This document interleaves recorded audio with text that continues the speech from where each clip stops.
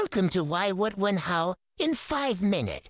Today, we're answering a very common question. Why does your phone heat up? Let's explain in under 5 minutes. When you play heavy games, record long videos, or multitask with many apps, your phone's processor works harder. Just like your body heats up when you run, the processor heats up when it is under stress. Fast charging pushes a large amount of power into the battery in a short time. This rapid energy flow naturally creates heat. Using your phone while charging makes it even hotter.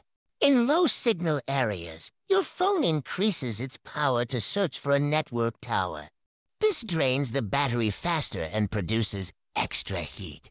As batteries age, they lose efficiency. Old or damaged batteries convert more energy into heat even during simple tasks. And that's why your phone heats up. It's mostly because of processor load, background apps, and weak battery health.